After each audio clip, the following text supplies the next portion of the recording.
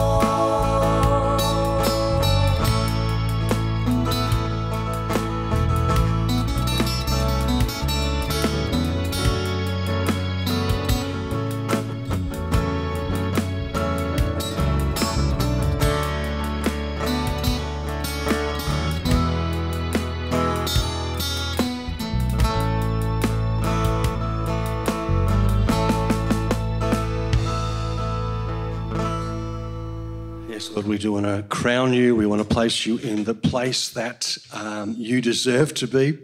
And we ask, Lord, that this morning we may be able to worship you in spirit and in truth, and that we may be able to worship you uh, in an air of gratitude and thankfulness for all that you do to us, all you do for us. And we just ask, Lord, that uh, as we, uh, this is my last time here, we just ask, Lord, that we'll be able to celebrate, but we'll also be able to look to the future.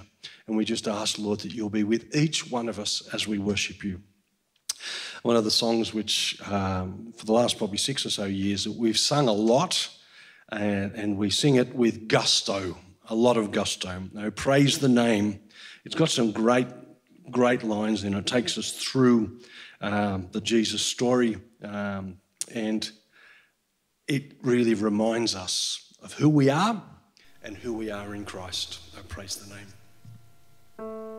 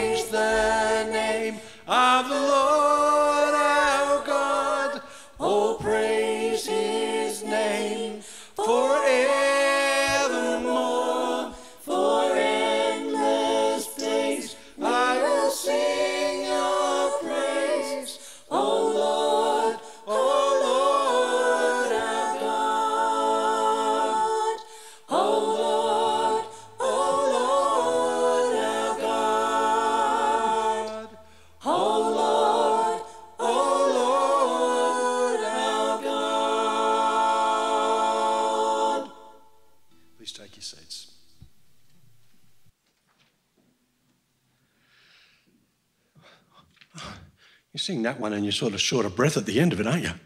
Um, Gary's going to read to us uh, from the Bible. Um, were you aware of that, Gary? Yes, yes, he knew that. And the Bible reading comes from uh, Romans and chapter 10 and the first 15 verses. Brothers and sisters, my heart's desire and prayer for God to the Israelites is that they may be saved. For I can testify about them that they were zealous for God, but their zeal is not based on knowledge. Since they did not know the righteousness of God and sought to establish their own, they did not submit to God's righteousness. Christ is the culmination of the law, so that there may be righteousness for everyone who believes. Moses writes about the righteousness that is by the law. The person who does these things will live by them. But the righteousness that is by faith says, Do not say in your heart, Who will ascend into heaven?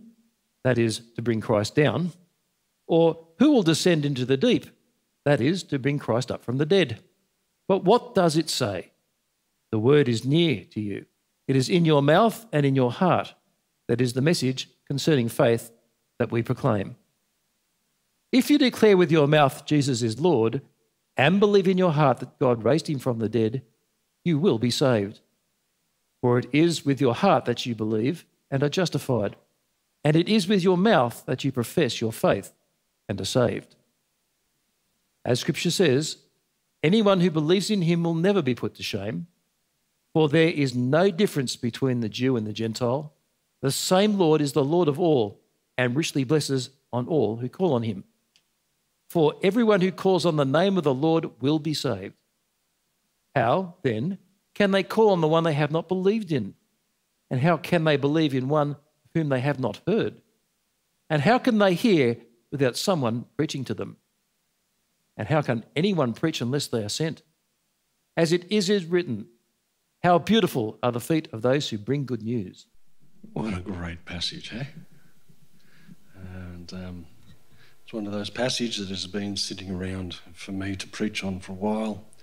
Um, and um, I'm sure I'll preach it again, but I leave, I'll leave it with you today. Uh, we're going to have a little bit of fun here. We're going to sing uh, a kids' song. And um, We've got some kids here, which is really cool. Um, so we're going to stand up together and we're going to sing This Little Light of Mine. And um, those of you who remember that from earlier days um, can fill in bits and pieces as we go. This little light of mine, I'm going to let it shine. Okay.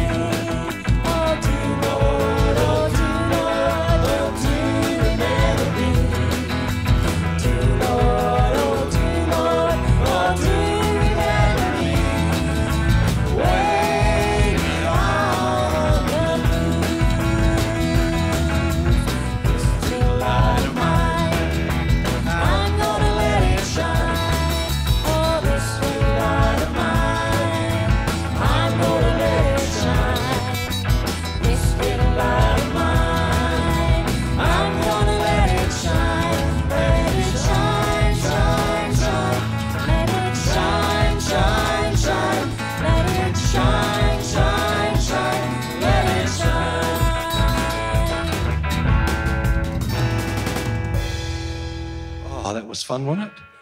And I could see people, Lindsay, you were caught, you were doing the actions, you were doing the actions. Lots of fun. Um, this is, um, actually, can I just say that this is a song off Marianne's first EP? Um, yeah, Marianne did an EP last year. Did you know that? No. Pandemic's got in the way of everything, didn't they? Anyway, this is a great song, and um, it's um, about being still before God.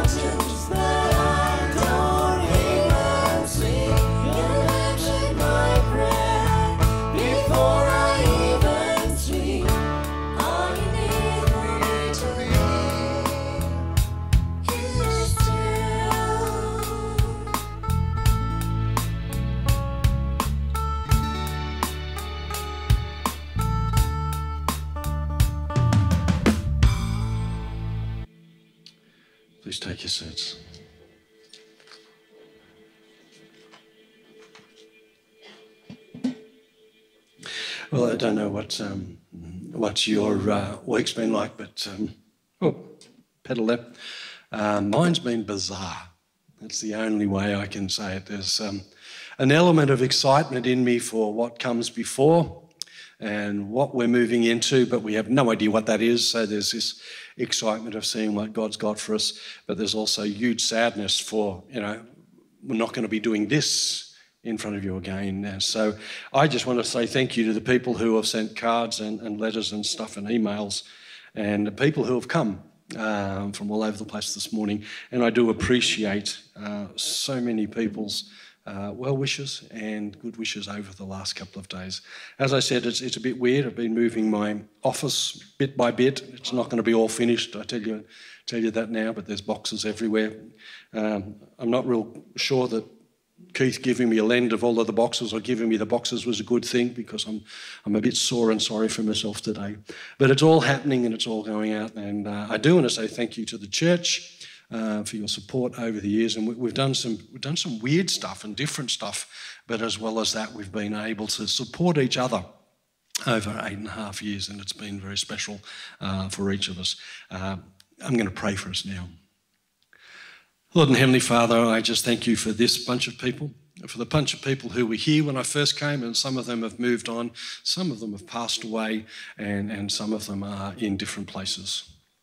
Lord, I just thank you and praise you for the way that you have used these people in my life, um, but as well as that, how you've been able to use me uh, to encourage them, to build them up, and to be part of their life as well.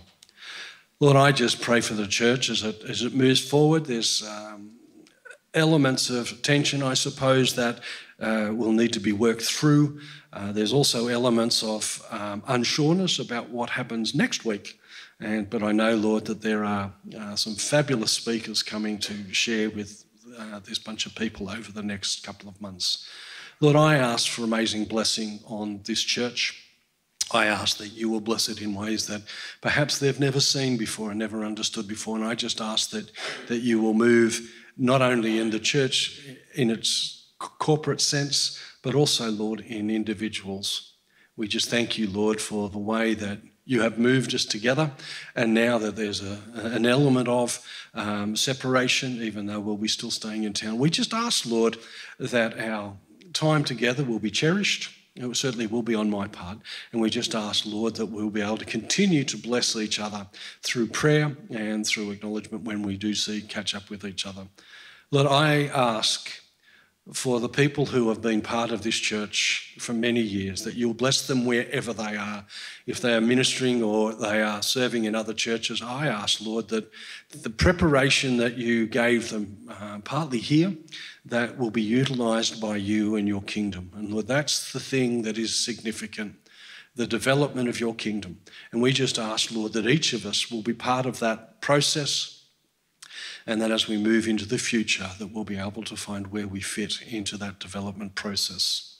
Lord, for people who at the moment can't be here for whatever reason, some people are sick, uh, we just ask, Lord, that you'll be with them. Also, Lord, we ask for those people who uh, have not come back because they're not confident to come back to church, we ask, Lord, that you will be with them as they deal with uh, those fears and those issues, those mental issues, uh, the physical and mental um, issues that are there within them. Lord, but we just ask that you will be with us in some very significant and real ways. And I thank you and I praise you for this congregation and its input into my life and to Marianne's life and both Jackson and Flynn as well. Lord, we thank you in your name. Amen. As well as that, this is the last of the Bathurst Baptist Church uh, video links. Um, tonight at six o'clock will be the last one of those. But let me tell you that there's an option and there's an alternative.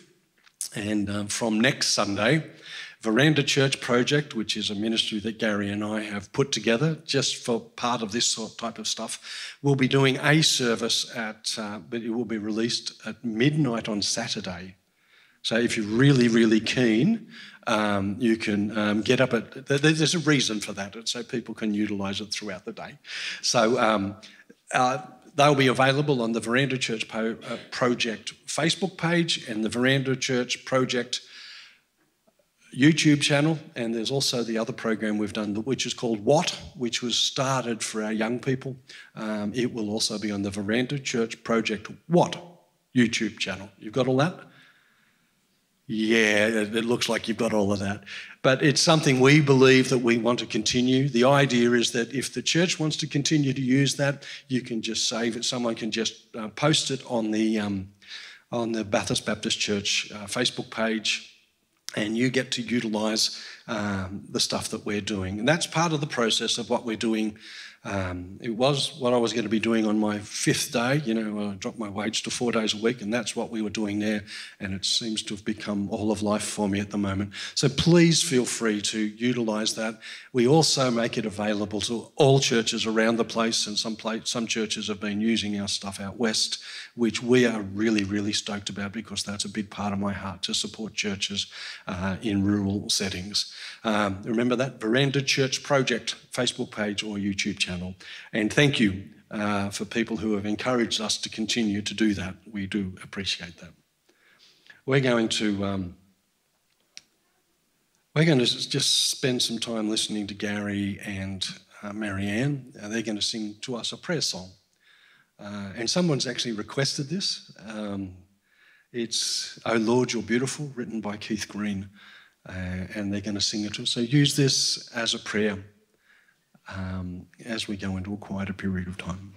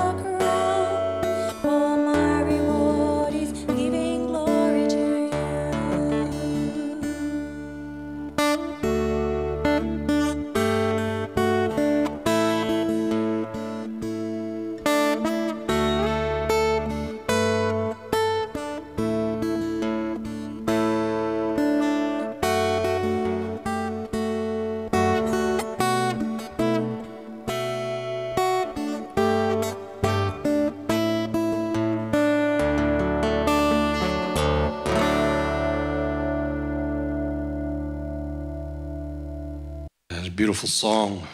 And it's uh, 50 years since Keith Green passed away. Are you aware of that? Um, a great uh, Christian music, forerunner in a lot of ways, and there's a lot of his music, as is evidence there, we're still using as worship um, in our services. We're going to have our tithes and our offering, but while we do that, uh, Gary's going to sing to us. Um, it is well with my soul, so feel free to join him. Um, we'll stand partway through the, the song, um, but uh, the offering will be taken now.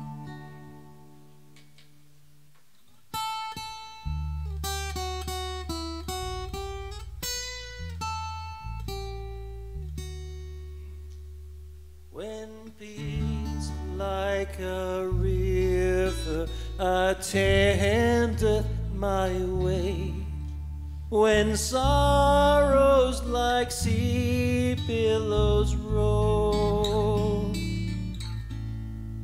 whatever my lot thou hast taught me to say, it is well, it is well with my soul.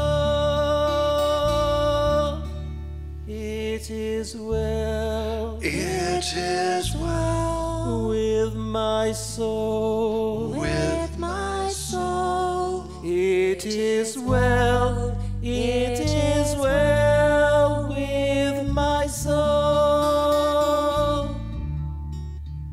Though Satan should buffet though trials should come. Let this blessed assurance control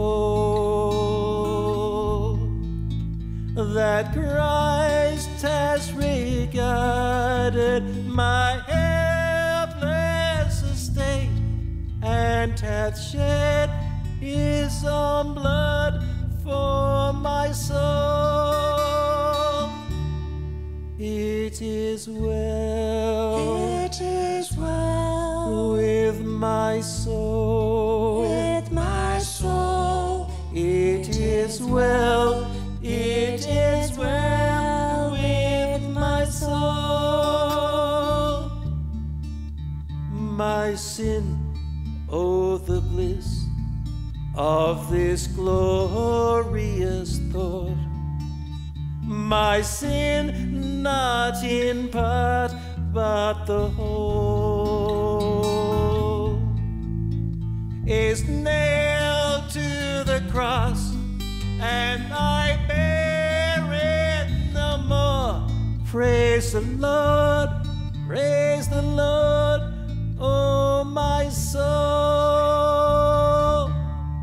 It is well It is well my soul. with my soul. It is well, it is well with my soul. Oh Lord, haste the day when my faith shall be sight. The clouds be rolled back as a scroll. The trump shall resound, and the Lord shall descend. Even so, it is well with my soul. It is well It is well with my soul. with my soul. It is well,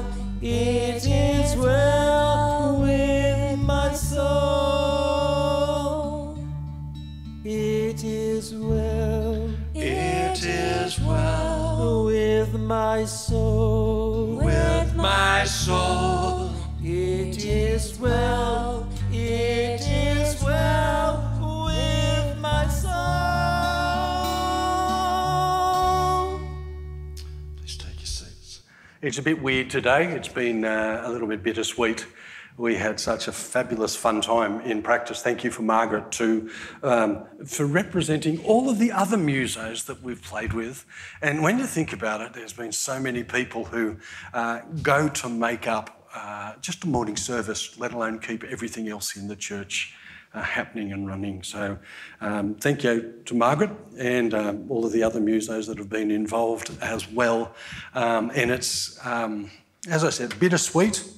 Uh, looking forward to what God has for us, yet realizing that there's a whole support network which changes um, over the next couple of months, that's for sure. So thank you for that.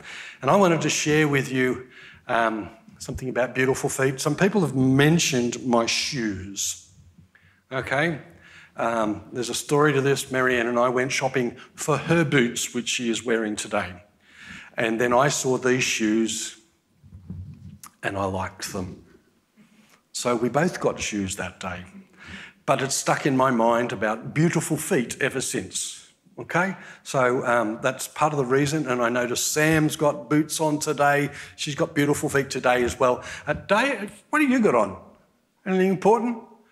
Some cool boots as well. Thank you, mate. Um, so, uh, and some of you else, uh, some of you other people might have um, beautiful feet. I should have actually advertised that we're going to have beautiful feet Sunday. Um, but this passage is significant to me. It is very important to me in, in who I am, and it's what I want to leave with you. Uh, we're picking it up from uh, verse 12. And I have to ask, what do we think this means in in a modern context? Uh, for there is no distinction between Jew and Greek, for the same Lord is Lord of all, bestowing his riches on all who call on him. Okay? What does that mean? What are we thinking about when we read that? Because it's all very, very nice just to read it and read through it in our daily devotions, but if we don't think about it, if we don't actually think what it means to us, then the Bible becomes just another book. What does this say to us? There's no distinction between Jew and Greek, for the same Lord is Lord of all, bestowing his riches on all who call on him. There's a couple of things in here. No distinction is um, a significant term. Significant. So, in other words, us as Gentiles are not distinguished as different from Jews. And in that day, that was significant, hugely significant. That we are all in the same boat. And, and Paul is saying to the Romans, you Roman Christians are not differentiated against differently than the Jews are. And for them at that stage, absolutely huge. It goes on.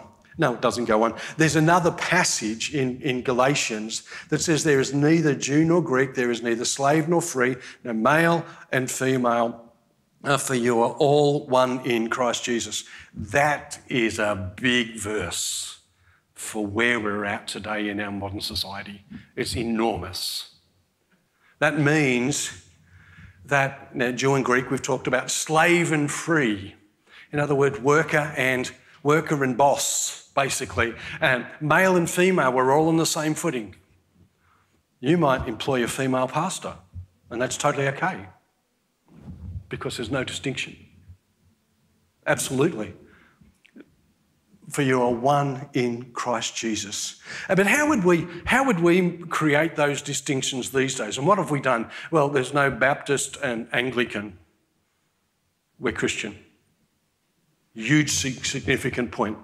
There's no worker and boss, there's no male or female. What, what about something? No poor or rich or educated and uneducated. We're all in the same thing. Something that came up this week in a discussion. Does that mean there is no straight and gay. Oh. I saw some of you cringe then. That was an interesting reaction. That's really difficult, isn't it? No, it's not. You know why? Any of those people can call on the name of Jesus. We're not talking about as the Salvation Army is, whether they can, whether a gay person can be an officer or a minister. We're not talking about that at all. What we're talking about is who can become a Christian, who can say to Jesus, "I want to be yours." Everybody, everybody can do that. And let's be really, really careful that we don't place distinction. Is becoming a Christian that simple? Yeah. But we make it very difficult. And we make it very difficult for the post decision process, don't we? We make it difficult for the next little bit. After they've become Christians, we sort of we put this expectation on them that they'll all of a sudden everything will change like that. Now, I know Christian guys who have tr- struggled with addiction for 30 years. They've been Christians for 30 years and they still struggle with addiction. Shouldn't it all be gone? Why? Why should it all be gone? Why should our struggles go away? Our struggles don't go away just because we're Christians. I'm sure of that. I know that because I have struggles as well. Yeah. So they don't go away. It's just that Jesus is with us as God is with us. And, and part of the thing is that we have this expectation that people become Christians and they end up like us. And sometimes what we try to do is make little us's. Can you imagine this church full of little Johns? Little bald fellows. Little bald, stubby fellows. No, it's too much for me to think about, let alone you.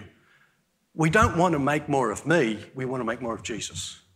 And we've got to be really, really careful that we don't try to turn new converts into us's. Is that a term? I'm glad Marianne was actually out getting a drink of water because I'm not sure that the grammar's right and she would probably pick me up on that. But so the thing is, the, the interesting thing is in early, early Christian missions, well, even up until um, probably 150 years ago, what happened was most of the missioners tried to turn um, the people into Christians like them.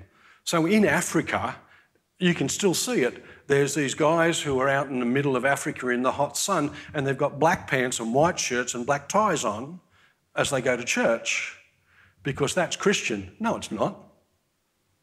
No, it's not at all. All that does is send them break because black pants and a white shirt and a tie cost them a lot of money.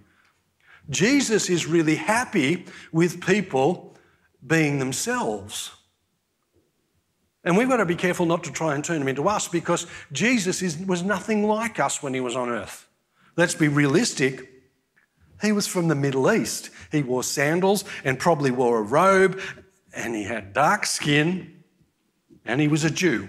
Now, if Jesus is the same yesterday, today, and forever, guess what? He's still a Jew. He's still got dark skin. He doesn't look like me at all. And He's very lucky about that. You've got to remember we make Jesus the focus of not only our church, but of our evangelism and of our life. Hugely significant for us to think about. So, what do the people we attract to this church over the next 10 years, what do we want them to look like? Not like me, that's for sure. But more like you or more like Jesus? so if you have an influx of people who are wearing sandals and um, robes over the next few weeks, I know what's happened. Actually, if any of you want to try that over the next few weeks, that's fine with me because I don't have to laugh at that. but it's intriguing, isn't it? And we go on into the next one. It says, next verse, whoever calls on the name of the Lord will be saved. A couple of things here. For everyone who calls on the name of the Lord will be saved. I've had the pleasure of being with people when they've been passing away. I don't know whether it's a pleasure or not, but it's an honour. Is that a better way to put it? It's an honour. And I've been with one guy who gave his heart to Lord probably seven hours before he passed away. Everyone who calls on the name of the Lord will be saved. His grandson, 17 year old bloke, became a Christian two days later. Everyone who calls on the name of the Lord will be saved. Heroin addicts, prostitutes, when I, you know, when I used to work with Youth for Christ and stuff, everyone who calls on the name of the Lord will be saved. I've had the pleasure of seeing a wide gamut of that. A wide gamut of that. Some of you have had the pleasure of seeing your own kids make decisions for Jesus. I had the pleasure of seeing my boys make a decision at the Revive Youth Night here. And a lot of kids made a decision that night. But for me, that was just whoa. Everyone who calls on the name of the Lord can be saved, will be saved. Not can be, will be. Sorry, I had to slip up there. It is us who have the desire to change people to be like us. Stop it. We need to have the desire that people be like Jesus. More and more, more and more as he goes along. Now, there's a thing on, and I, have written it here by mistake. You know, the standard for a relationship with Jesus is the relationship with Jesus. Symbols. Now, I made the slip of the tongue there, but you've probably seen the ad on television with a little meerkat. Simples. Yes, it's simple. Whoever calls on the name of the Lord will be saved. Now, there's things that are going to happen after that. Okay? People grow spiritually, things change in their life. And I know from when I became a Christian, it was really for me, I didn't want to go to hell. But after a period of time, I grew and I became uh, very much more in love with Jesus, very much more aware of who God was over a period of time. So I think within that we are saying whoever, whoever calls on the name of the Lord can, will be saved, yes. The process after that, and we've got to let people process. Got to let people process. Because some of the people that we're ministering to now have never been to church, Sunday school, Christian endeavour. Um, even some of the kids now are not even getting scripture. Now, that's a total travesty when you think about it. Kids aren't getting to hear about Jesus. Yes, that's true. So we're going to have a much bigger period of discipleship. And that's where we come in. we disciple people. We don't save them, we are part of the discipleship process. But my heart goes out to people in our community here that don't know about Jesus. They may have heard him at Christmas or Easter. This is where this passage touches me. For everyone who calls on the name of the Lord will be saved. How then will they call on him in whom they have not believed? And how are they to believe in him of whom they've never heard? And how are they to hear without someone preaching? And how are they to preach unless they're sent? Simple explanation of Christian responsibility. Go and do it. How do they call on Jesus unless someone tells us? Now, do you know people who don't know Jesus? Have you got a close relationship with people who don't know Jesus? Who tells them? The preacher? Sorry, you're not going to have a pastor for a period of time. You can't expect me to do it. It falls on you. Who's going to tell them? You. Us, if you want to put it that way. Who will tell them? Yeah. Is that us? Or do we actually fit that into our church, um, church structure to say these are the people who we train to do this stuff? Yeah, I think we have to. Why? Because we're not getting trained in that. Who remembers Christian Endeavour? Okay, be honest. Um, some of you have got no idea what I'm talking about, but that's quite okay. Christian Endeavour was a fabulous program, and it actually taught young people to do things how? By making them do it. And, we, and, and that's where a lot of our generation learnt to do these things. And it taught you how to, a simple process to share Jesus with people. Where do we learn it now? Now, some, some youth groups are great and they teach it. Other than that, you don't learn it. We don't learn it. So there's less and less people sharing Jesus because they don't know how to do it. Yeah. They're not confident to do it because they haven't been through the process of having it shared with them. Does that affect us too? When was the last time we shared Jesus with someone? I asked this with a bunch of people. Actually, it was at car camp about seven or eight years ago, something like that. And I asked some of them when was the last time you shared about Jesus? And one guy was totally honest. He owned a 27 Chev and he said, nearly as long as my Chev is, nearly as old as my Chev is. And now I knew he wasn't actually that age.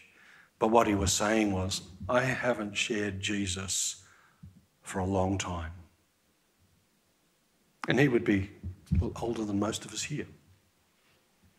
When was the last time you shared Jesus? It's interesting, isn't it? You see, how then will they call on him in whom they have not believed? Just gotta tell them. How are they to believe in him in whom they've never heard? Okay, there's a big theological question there, but we're not dealing with that today. If they've not heard, what happens? Think about that. If they haven't had Jesus explain to them, what happens to them in the end? Think about it. How are they to hear without someone preaching? This is perhaps a group setting. This is perhaps where Revive Youth Night comes in.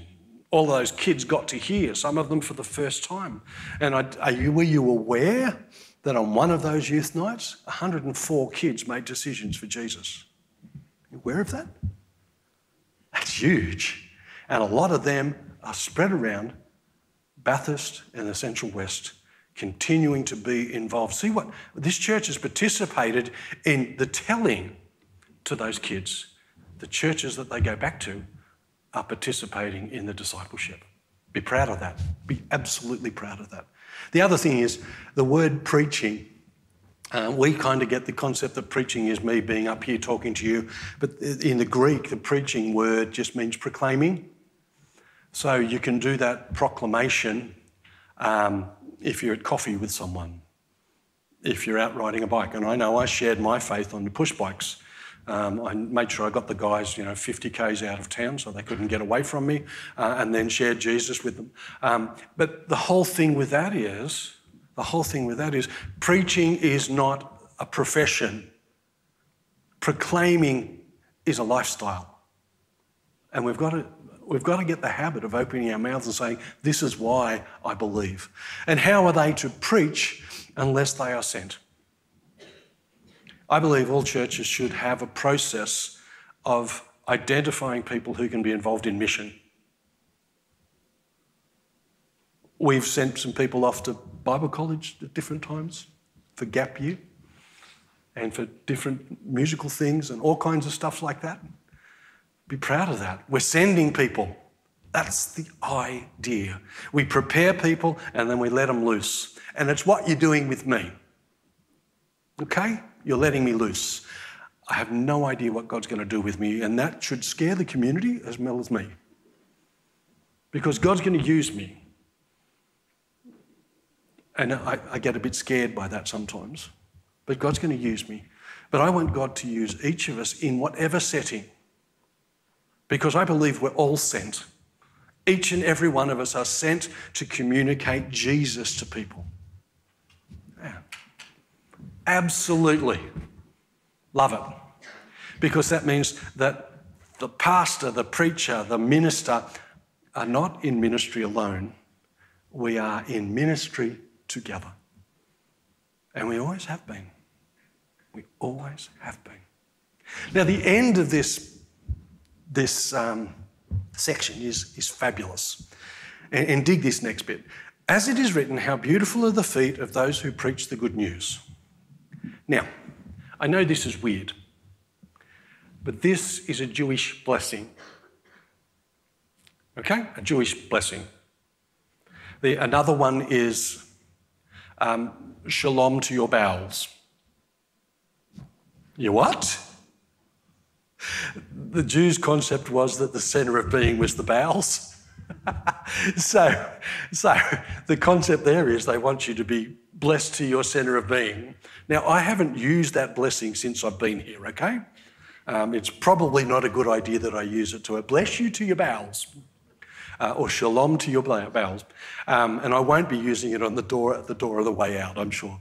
But the thing is, here it says, How beautiful are the feet of those who preach good news. Now, there's a reason why beautiful feet are a blessing. Because people in those days spent a lot of their time in the dirt, wandering around with sandals on or bare feet. So their feet got dirty. And a beautiful foot was one that was clean and had perfume on it. In other words, they were anointing. Do you remember the woman that anointed Jesus' feet? That's the concept. Make someone's feet feel important. This is a blessing saying, I want you guys to all be important because you share the good news about Jesus with people. It's a blessing. A blessing. Do you want to be blessed? Do you want to be blessed by God? Tell people about Jesus. It's promised. It's promised. Absolutely. And does this church want to be blessed in the future? It will be if it tells people about Jesus. Absolutely. And my hope and prayer is that you people will be blessed abundantly absolutely hugely, no matter what is before us, that you will be blessed and God will use you lot to extend his kingdom. Bless you. This is a song that is usually significant to all of us up here, uh, but I want to leave it with you and I want you to remember uh, the faithful love of Jesus.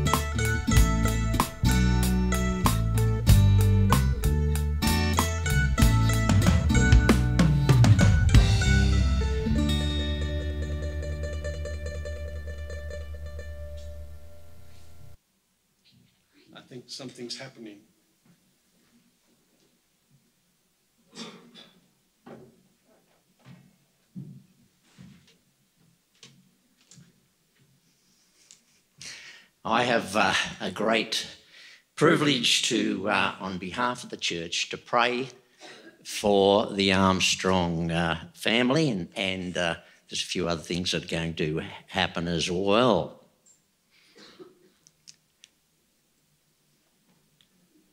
Will I do first? Do you want to say? Yeah.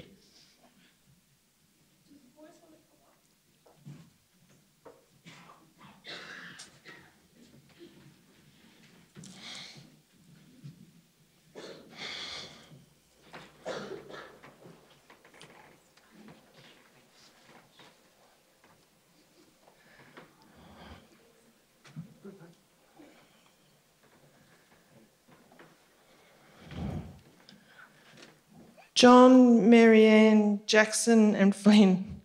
Sounds loud. Life is a journey. It has many turns and bends along the way. Sometimes the view from the top is clear, exact, and exhilarating, and other times it's shrouded in mist, damp, and misery.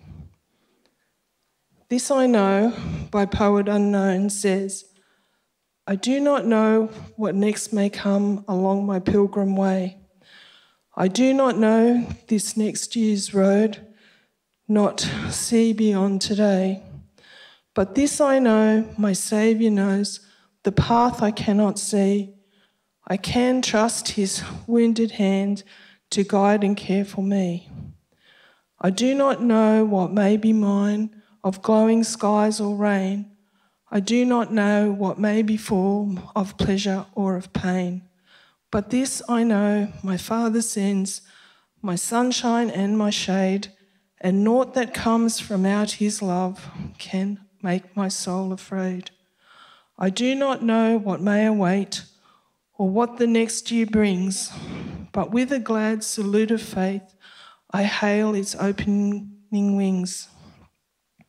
For this I know that in my Lord shall all my needs be met, and I can trust the heart of him who has not failed me yet. My prayer is that as you move from leading our community, that you will see God's hand directing your path. As your health improves and your vision clears, may you see from the mountaintop the clear and exhilarating future God has stretched out before you. Thank you for being part of our journey.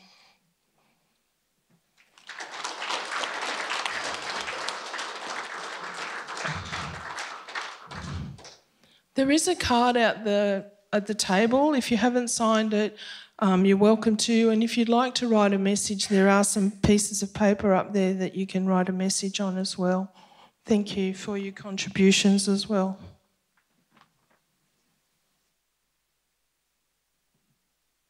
Stay out there for the time being. okay.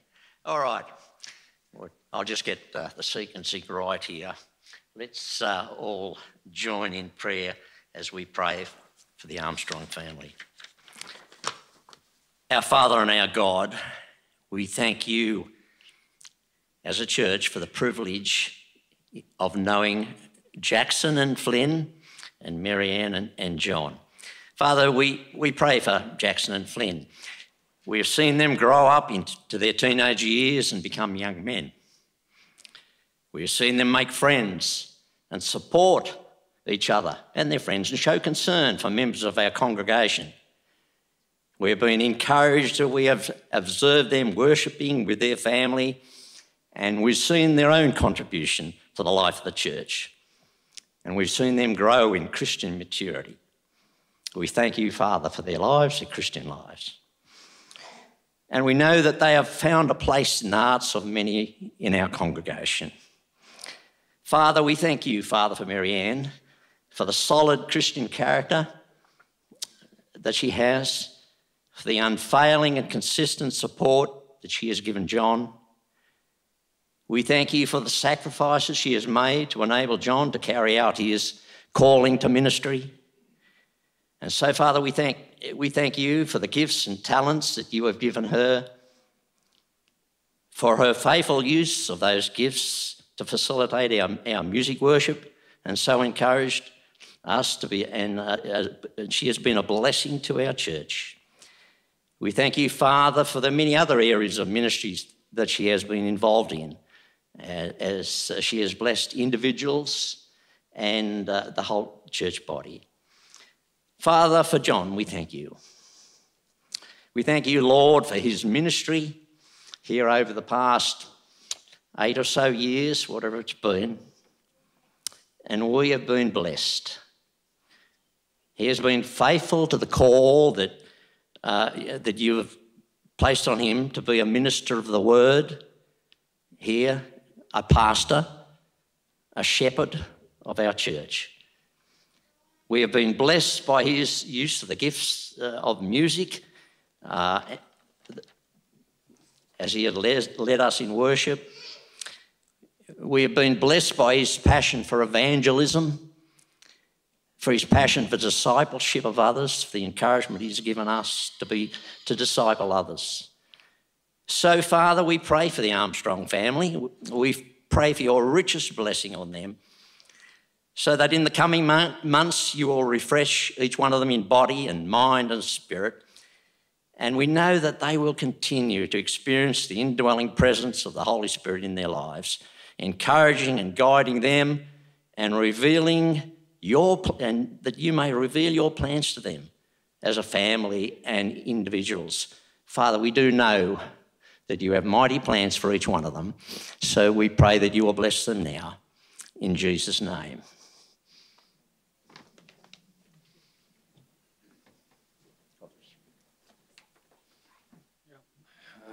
I suppose I should say something. Um, but you've already heard me talk a lot, haven't you? Look, I just want to reiterate uh, what I've said before that this has been a, an amazing eight and a half years. I've learned stuff. Um, I certainly never thought that um, I'd pastor a bunch of people through a pandemic, uh, and that was a huge learning curve for us all, I think. Uh, but thank you for your support and your love, and particularly through the trials we've been through uh, medically uh, as a family over the last eight and a half years. Everything from Bell's palsy to cancer to um, seizures to everything that's gone on in our family. Um, you've always been there to support us. we want to just encourage you. Uh, rest assured, I will be continuing to pray um, for you well and truly on into the future. Um, so thank you, and um, we we just thank you for uh, even I think Sally for. Um, apple crumble for dessert today. Um, for so many things like that, which have been very, very significant to us as, as a family, that people have cared for us practically uh, as, as well. Um, so, thank you one and all, thank you, each of you, uh, for the input that you've had into our lives. And uh, we'll never, certainly never forget you. And um, you'll see us around for a period of time, that's for sure. Thank you. Bless you.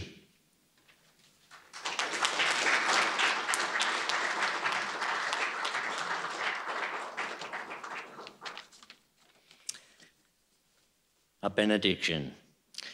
May the Lord bless you, each one of you and each one of you. May the Lord make his face to shine upon you, and may he be gracious to you. May the Lord lift up his countenance on you and give you peace. Amen.